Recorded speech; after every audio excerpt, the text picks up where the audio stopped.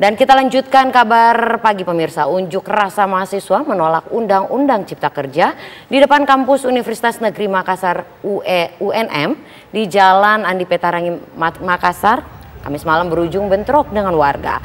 Polisi yang datang ke lokasi langsung membubarkan aksi dengan menembakkan gas air mata. Aksi bentrok antara warga dengan mahasiswa terjadi di depan kampus Universitas Negeri Makassar Kamis malam. Warga melempari batu ke arah mahasiswa yang bertahan di sekitar kampus.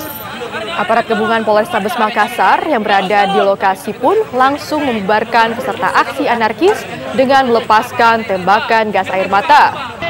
Tiga orang yang diduga sebagai provokator pun diamankan petugas. Untuk mencegah terjadinya aksi serupa, aparat polisian masih berjaga-jaga di lokasi.